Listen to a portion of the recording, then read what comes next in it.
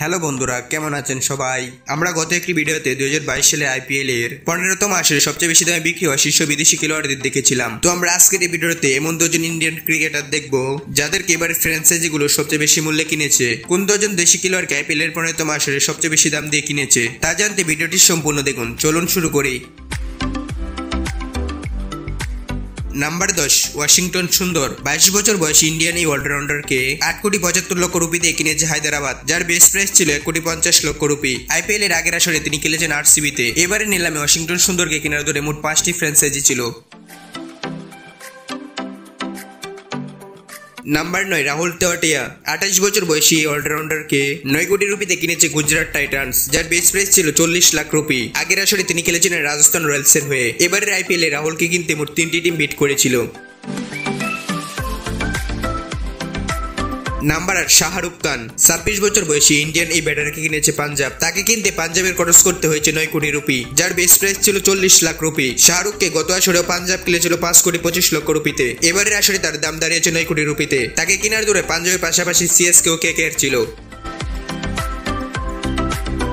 Number সাত প্রসিদ কৃষ্ণা, ছাব্বিশ বছর বয়সী বলারকে কিনেছে রাজস্থান রয়্যালস, যাকে কিনতে ফ্র্যাঞ্চাইজিটির খরচ করতে হয়েছে দশ কোটি রুপি। প্রসিদ কৃষ্ণার বিস প্রাইস ছিল এক কোটি রুপি। আগের আসরে তিনি খেলেছিলেন কলকাতার হয়ে। তাকে কিনার দূরে রাজস্থানের পাশাপাশি লখনৌ ও গুজরাট ছিল।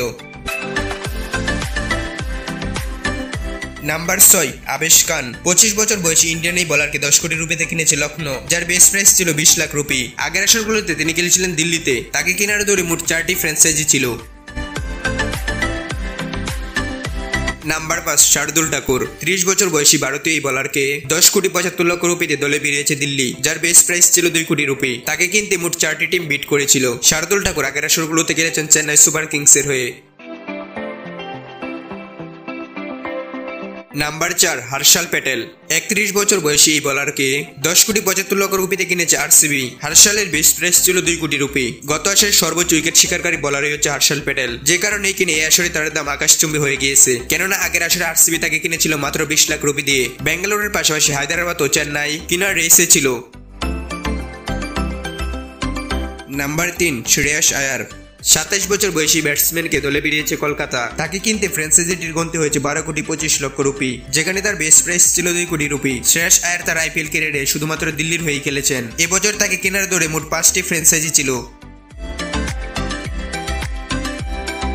নাম্বার দুই, দীপক চাহর। উনত্রিশ বছর বয়সী ভারতীয় এই বলারকে আবারও দলে রেখেছে সিএসকে তাকে দলে রাখতে ফ্র্যাঞ্চাইজিটির খরচ করতে হয়েছে চোদ্দ কোটি রুপি। দীপক চাহরের বেস্ট প্রাইস ছিল দুই কোটি রুপি। তিনি আইপিএল এর কিরিয়ারে সিএসকে ছাড়া অন্য কোনো টিমে খেলেননি। দলটির হয়ে দুই হাজার ষোলো সাল থেকে খেলছেন। দীপক চাহরকে কিনতে মোট চারটি ফ্র্যাঞ্চাইজি বিট করেছিল।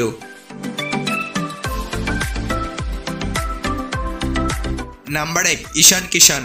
তেইশ বছর বয়সী উইকেট রক্ষক ব্যাটসম্যানকে আবারও দলে বেরিয়েছে মুম্বাই। তিনি দুই হাজার আঠারো সাল থেকে মুম্বাইয়ের হয়ে খেলছেন। ঈশান কিষানের বেস্ট প্রাইস ছিল দুই কোটি রুপি, যেখানে এবছরে তার দাম দাঁড়িয়েছে পনেরো কোটি পঁচিশ লক্ষ রুপি। তাকে কিনতে মোট চারটি ফ্র্যাঞ্চাইজি বিট করেছিল। হায়দ্রাবাদ পনেরো কোটি রুপি পর্যন্ত বাড়ানোর পর মুম্বাই পনেরো কোটি পঁচিশ লক্ষ রুপিতে পেয়ে যায়। পনেরো কোটি পঁচিশ লাখ রুপি নিয়ে ঈশান কিষান হচ্ছে এবারের আইপিএল এর সবচেয়ে দামি খেলোয়াড়। বন্ধুরা, আজকের মতো ভিডিওটি এই পর্যন্ত ছিল। ভালো লাগলে অবশ্যই লাইক করবেন। এবারের আইপিএল এ কার দাম শুনে আপনি চমকে গিয়েছেন তা আমাদের অবশ্যই কমেন্ট করে জানাবেন। আর পরবর্তী ভিডিওটি পেতে এখনই আমাদের চ্যানেলটিকে সাবস্ক্রাইব করে রাখুন।